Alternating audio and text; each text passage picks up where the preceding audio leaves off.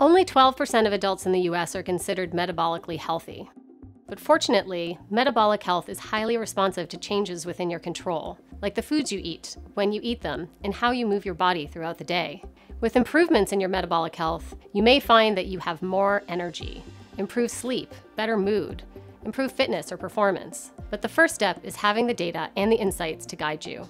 No single tool can do it all, but you can now get the full picture of your metabolism health and longevity with InsideTracker in NutriSense. NutriSense's continuous glucose program delivers real-time, zoomed-in metabolic health data so that you can understand how your everyday nutrition, exercise, sleep, and stress habits influence your blood sugar. Plus, you'll get one-on-one support from your dedicated nutritionist to help you make some really impactful adjustments to your routine.